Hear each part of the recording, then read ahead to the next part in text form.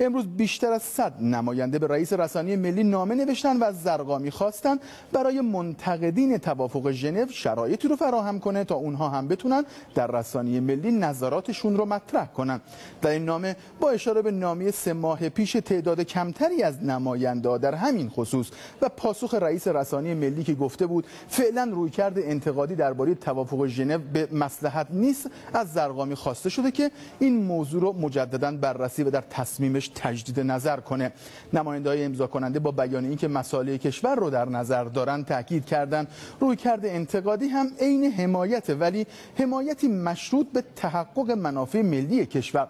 در بخشی از این نامه اومده مسئولین مذاکرات صدها ساعت در رسانه ملی حاضر شدن و به صورت یک طرفه کارشون رو در بسته زیبا ارائه کردن. در صورتی که کمتر منتقدی اجازه داشت با حضور در رسانه ملی داخل این بسته به ظاهر زیبا رو برای مردم پر افتخار کشورمون مشخص کنه.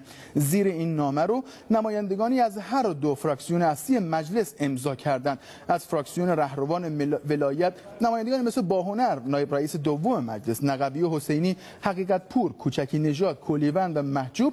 و از فراکسیون اصولگرایان هم نمایندگانی مثل نبویان بذرپاش کوسری حسینیان زاکانی و میرکاظمی